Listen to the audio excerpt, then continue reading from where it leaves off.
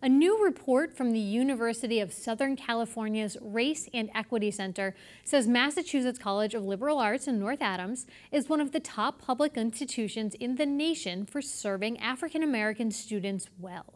But leaders there say there's still a lot of work to do to assure those students stick with the school, nestled in a small majority white community, until graduation. Michael Obasohan, MCLA's Assistant Director of Diversity Programs, and Christopher MacDonald Dennis, Chief Diversity Officer, discussed the news with me in the studio.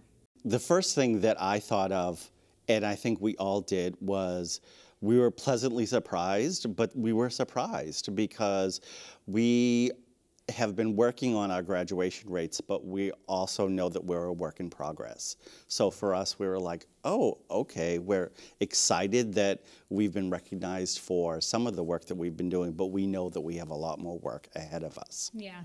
And Michael, for you, you're now the assistant director of diversity programs, mm-hmm. but you know the college intimately from the inside because you graduated in 2011, right? That is correct, yes. Was MCLA, uh, how would you describe the diversity on campus when you attended the school? When I attended MCLA, it, eh, MCLA was a completely I want to say it was a, it was a, a different place, a, a different feel. Um, the the the wants and the needs were were kind of the same, but not as um, immediate. It was it, it was a completely different atmosphere um, compared to what it is now.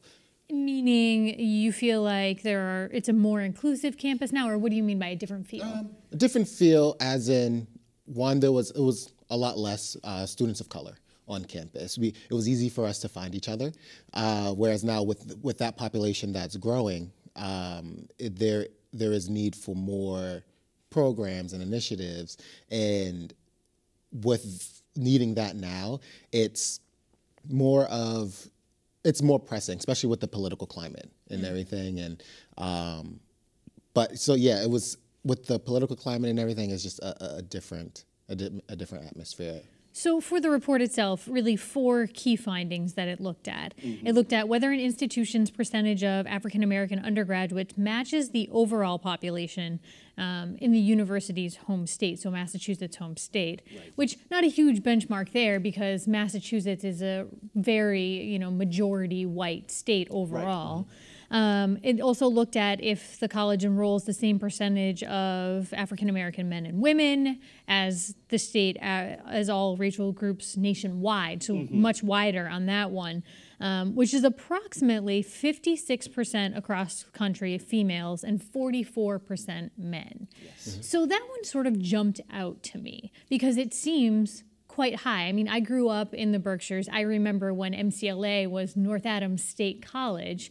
Had friends who attended the school. And so we're talking probably 20 or so years ago. But I remember being on campus and it was a very white place. Right. right. So for you, Chris, and I know you're relatively new to the school too, but hitting the ground running here, I'm sure. What's it like for you on campus? You know, it, what's interesting, so our first year class right now is 30% students of color.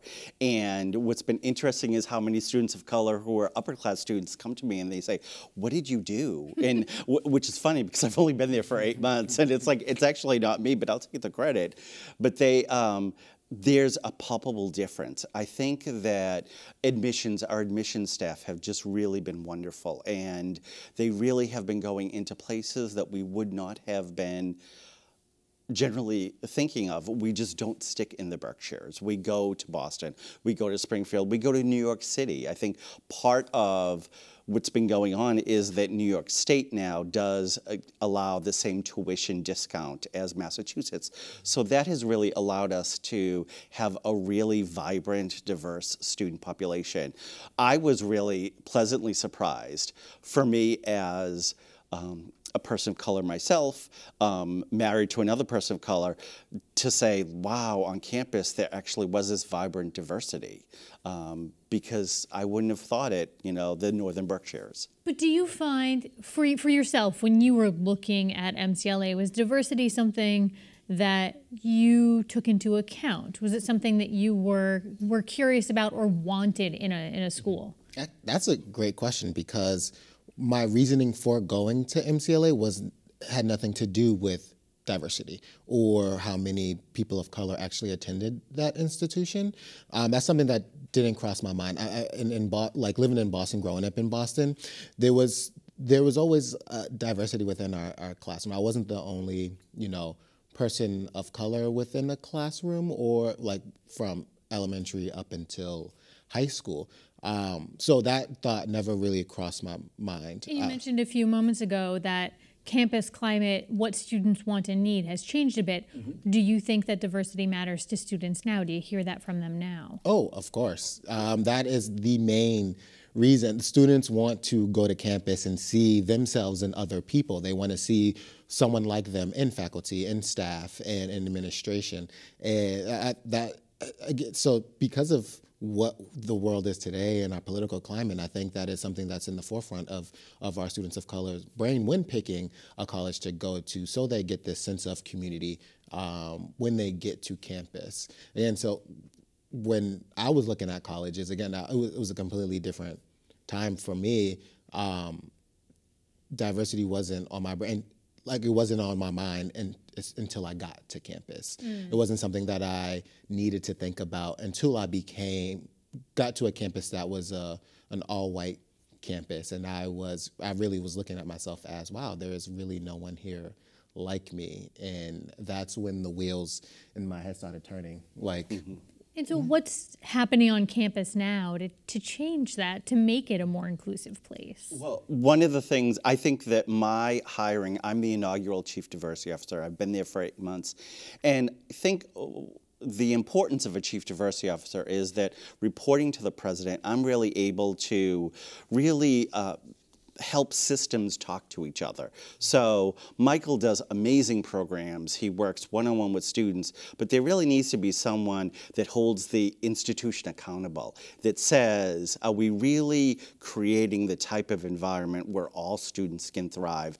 So right now, as the report's author said, um, those are great indicators, but campus climate is not one of them that they're looking at. So campus climate is something that we're now looking at. So we're great, we have people, but what is, the, what is their experience on campus? And as we were driving down, Michael and I were talking about, um, you know, the need really to listen to students and to say, what is your experience? Um, their reaction to the report was kind of like, okay, because they, that wasn't Did their, they get the numbers right? Is that what you mean by okay? no, they just to hear that we were a top school for black students. Um, b- when they hear that, they of course are thinking of, then why am I the only black student in a number of my classes Or and my field club or something and things like like that. So for them, that was not their lived experience. So that's why I made the comment that this is a great um, report for us, saying that in one realm we've done some good work, but we really have a lot of work ahead of us. And so now are you working together? I know one of the things that you're doing is collaborating with people outside of the campus, say the Pittsfield community, for instance, working with high school students and things like that to, I would imagine, work on closing that gap for what you're saying. Yep. But we are, well, Michael and I work very, very closely together, um, really around helping um, students know that there is institutional change, but also, um, I always say, kind of the grassroots and then the institution coming together um, to really make change happening on campus. And so, what's next for this process?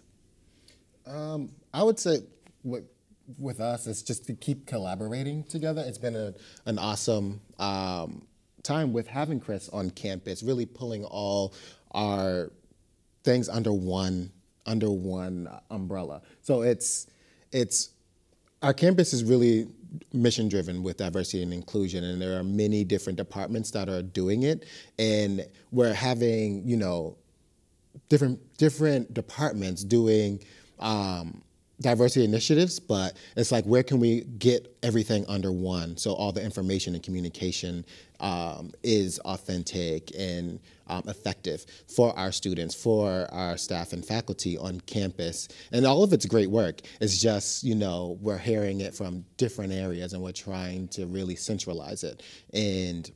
Um, that's the work that we're that we're doing now, and and along with that, creating more initiatives on campus. And just like Chris mentioned, we, for me, for my work, I really like listen to the students. I think that's where a lot of my ideas and um, initiatives come from are from the students. So technically, it's really the students that have all the great the, the great ideas. It's what is their lived experience? What is something that they need to support them uh, on campus to help them succeed um, academically and socially on campus and after they leave and graduate um, and go out into the professional world. What, what, are the skills and, and uh, skills that they need to help them survive?